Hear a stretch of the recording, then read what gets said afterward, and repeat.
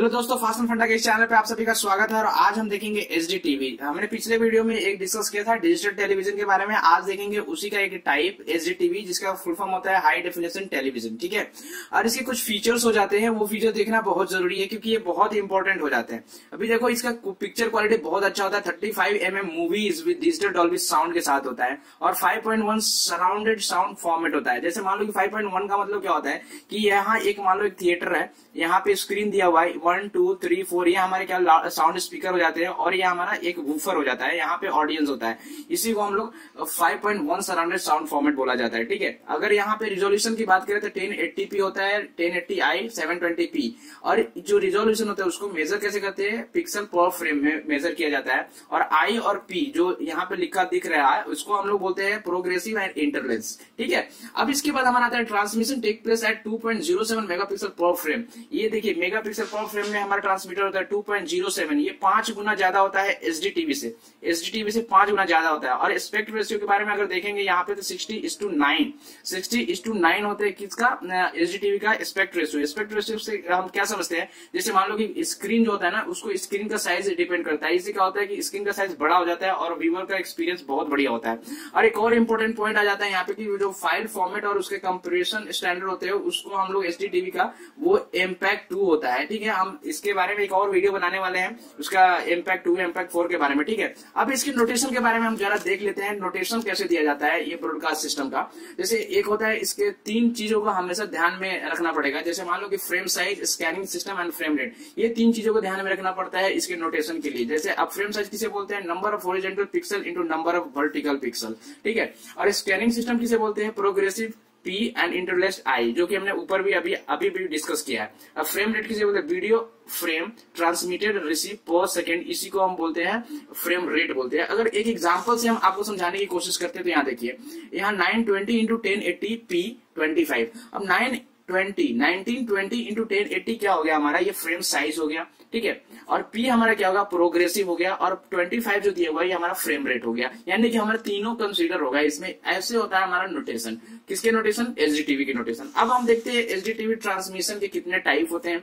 H transmission के दो type होते हैं MAC H technology and advance H technology अब इसके, देखिए, इसके भी तीन कैटेगरी बांटे गए हैं, जैसे टेरेस्ट्रियल सेटेलाइट एंड केबल इस बात को ध्यान में रखिए टेरेस्ट्रियल सेटेलाइट एंड केबल अब सेम ऐसे ही एडवांस एच टेक्नोलॉजी के लिए भी तीन कैटेगरी बांटे गए हैं।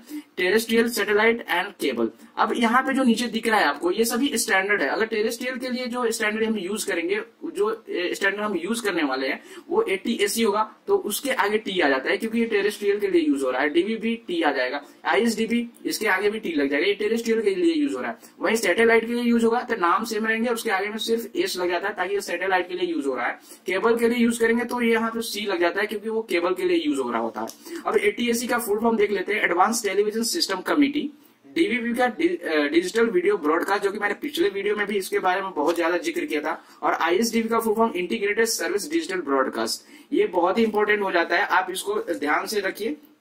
अब देखते हैं इसके ट्रांसमिशन और रिसेप्शन कैसे होते हैं हमारे एच के। इस चीज़ को देख लीजिए, ताकि आपके एग्जामिनेशन में लिखने में बहुत आसानी हो जाए।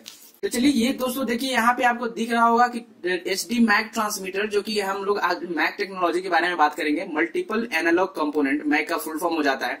अब यहाँ पे क्या होता है, ये सारे पूरे ब्लॉक डायग्राम दिए गए हैं, इसमें कैसे कैसे होता है? जैसे मान लो कि यहाँ एच वीडियो होता है, वो हम कैमरा के थ्रू एचडी वीडियो लेते हैं, और उसके बाद इसको हम लोग टाइम कंप्रेशन के लिए सेंड कर देते हैं। और यहाँ जो ऑडियो डेटा सिग्नल होता है, वो हम माइक्रोफोन के द्वारा इनपुट लेते हैं, उसके बाद ए टू डी कन्वर्जन करते हैं, और उसके बाद उसको कंप्रेस करते हैं। ए टू डी कन्वर्जन मैंने पिछले वीडियो में बताया था। उसमें क्या होता है कि हम लोग सैम्पलिंग क्वांटाइज और इनकोड करने के बाद ए टू डी कन्वर्जन करते हैं एनालॉग टू डिजिटल में फिर उसके बाद मक्स को हम लोग सेंड करते हैं। अब सिंक्रोनस सिग्नल जो होता है, उसको क्या बोलते हैं कि ए टू डी कन्वर्जन उसको भी करते हैं कंप्रेस करते हैं, उसके बाद हम लोग मक्स को दे देते हैं। मक्स का क्या काम होता है कि यहाँ पे पिछले वीडियो में मैंने बताया था कि जो भी सिग्नल होता है डिफरेंट सिग्नल उसको एक सिग्नल में कन्वर्ट करता है।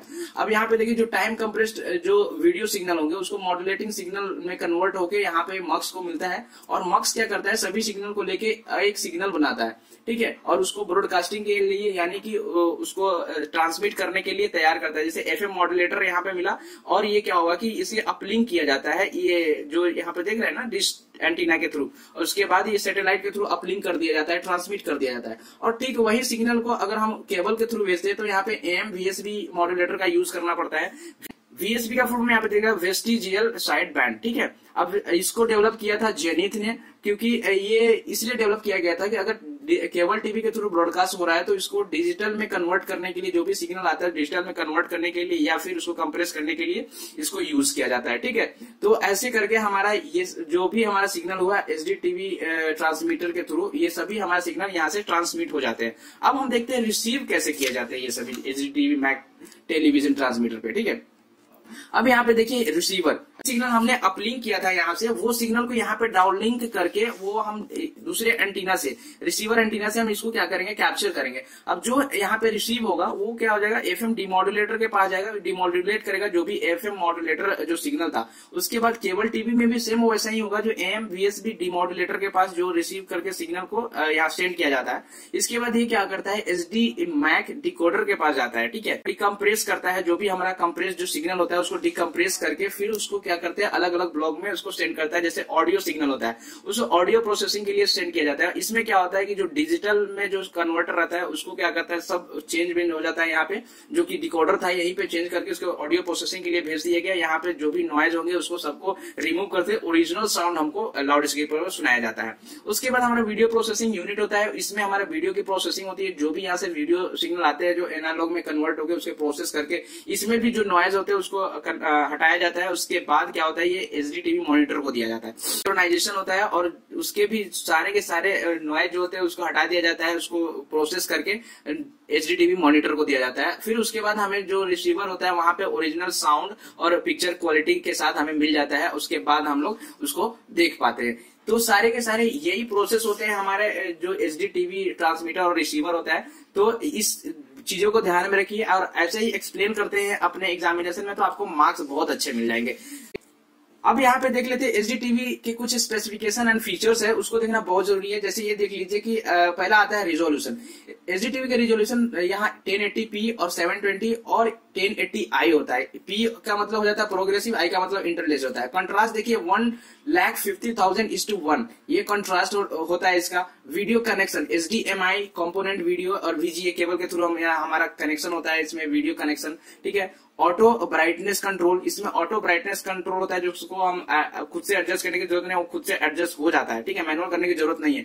ऑटोमेटिक वॉल्यूम लेवलिंग होता है, जो भी होता है equals volume of TV programs and the commercial अगर कमर्शियल में यूज़ हो रहा होता है तो उसके लिए वॉल्यूम ऑटोमेटिक बढ़ जाता है और घर में यूज़ होता है, उसके लिए वॉल्यूम कम हो जाता है automatic internet connectivity connectivity internet से कनेक्टिविटी आसानी से उसमें कर सकते हैं। एच में थ्री डिस्प्ले होता है अवेलेबल होता है इसमें। डायनामिक बैक लाइटनिंग होता है। जैसे यहाँ देख लो इम्प्रूव कंट्रास्ट कंट्रास्ट को इम्प्रूव करने के लिए डायनामिक बैक लाइटनिंग होता है। इसके बाद रिफ्रेश रेट एलसीडी टीवी, जो रिफ्रेश रेट होता है ना एलसीडी टीवी में सेम वैसे 120 हर्ज टू फोर्टी हर्ज होता है। पहले क्या होता था, जो एनालॉग जो टीवी होते थे, उसमें रिफ्रेश बहुत ही कम होता था सिक्सटी के लगभग में होता था। अब टाइप ऑफ़ डिस्प्ले यहाँ पे एलसीडी प्लाज्मा और एलईडी मिल जाते हैं यहाँ पे, ठीक है? स्कैनिंग टाइप यहाँ पे देख सकते हो आप। स्कैनिंग टाइप प्रोग्रेसिव इंटरलेस जो कि मैंने पिछले अभी थोड़ी देर पहले डिस्कस किया था। स्पेक्ट रेशियो सिक्सटी मिल जाता है आपको।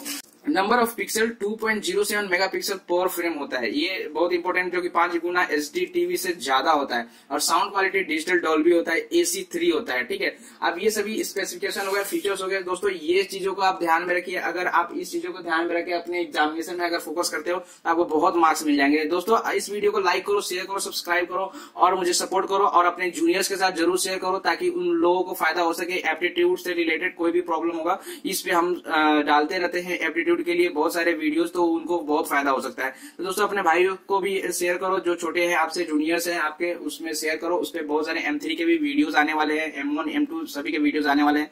तो उनको ज़रूर शेयर करिए। थैंक यू दोस्तों फॉर वॉचिंग दिस वीडियो